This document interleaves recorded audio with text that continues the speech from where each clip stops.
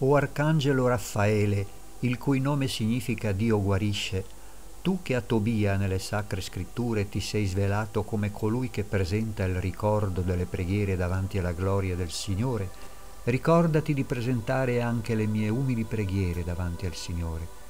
Ti chiedo di intercedere anche per me, per poter guarire dalla malattia che tanto mi affligge.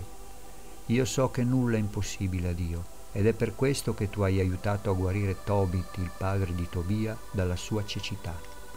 Ma se è volontà di Dio che io continui a soffrire per questa malattia, aiutami a guarire dalle infermità psichiche e spirituali che mi rendono spesso incostante nella via della salvezza. Confido nella tua intercessione e ti ringrazio di cuore per tutto quello che fai per me nel Signore.